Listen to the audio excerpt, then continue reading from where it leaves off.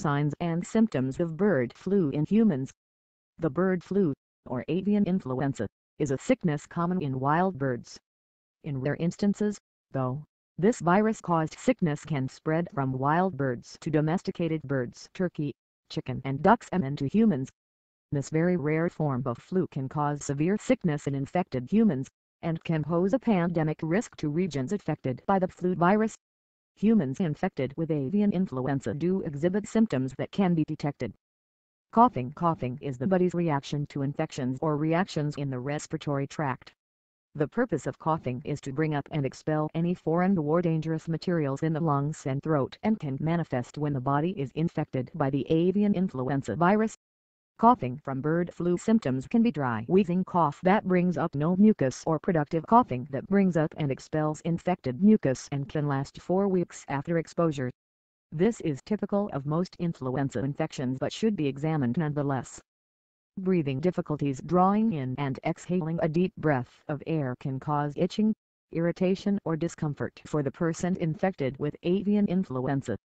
Symptoms ranged from mild coughing when trying to breathe to the inability to breathe deeply at all. When accompanied by diarrhea or nausea, breathing difficulties should be examined immediately to diagnose the root cause of the symptoms and begin treatment or containment as needed. Headache and fever Splitting headaches are a typical symptom of any flu infection, including exposure to the avian flu viruses. Accompanied by fever, these symptoms register a viral infection that the body is trying to fight off using the immune system. Cold and hot chills, vision blur and high fever, ringing ears and a pounding headache can register as bird flu signs, and should be evaluated by a medical professional. Though not typically life-threatening symptoms, when combined with other bird flu symptoms, headache and fever should be considered dangerous. Fatigue and muscle aches General malaise, fatigue, unexplained drowsiness, and muscle aches are all signs of a viral infection. Combined with other flu symptoms, these ailments can cause loss of energy and general tiredness and tenderness throughout the day.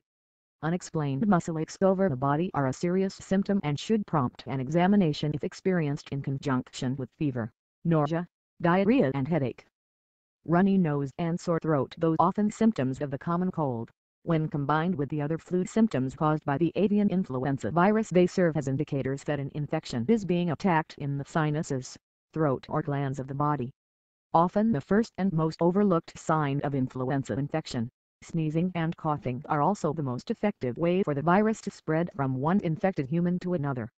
The runny nose and sore throat should be treated as normal cold symptoms if preceding the other symptoms of avian flu, though, they should be treated with extra precaution to avoid spreading the contagious virus further.